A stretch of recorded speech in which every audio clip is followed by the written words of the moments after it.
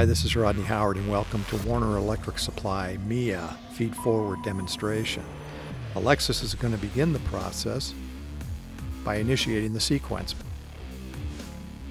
Once the sequence starts, the valves open, the pump turns on, and we begin to build water into the tank on the right, which is called the product tank.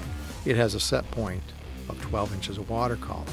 Water flows into the tank, level begins to build, once the system becomes stabilized, Alexis is going to transfer us over to a feed-forward scenario. You will see that occur. When she does that, we're actually going to be robbing the tank of water and diverting it down through a secondary stream.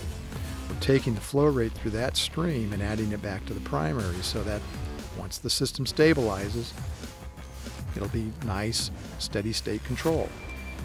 When that stabilizes, she's going to go into a more advanced feature of feed-forward control, and we're going to open a third diversionary line. Again, that flow rate going through the Coriolis flow meter on that third line will be added back to the primary, and the system will stabilize and level will remain at set point. Water will be coming through the diversionary system through the spray ball, keeping the level at set point and recover nicely. Once this happens and the system stabilizes, Alexis backs each one of the feed-forward systems out. We end up in single element level control as we started, and the system goes into a drain sequence and the demonstration comes to a conclusion. Thank you very much for watching. We hope this has been beneficial.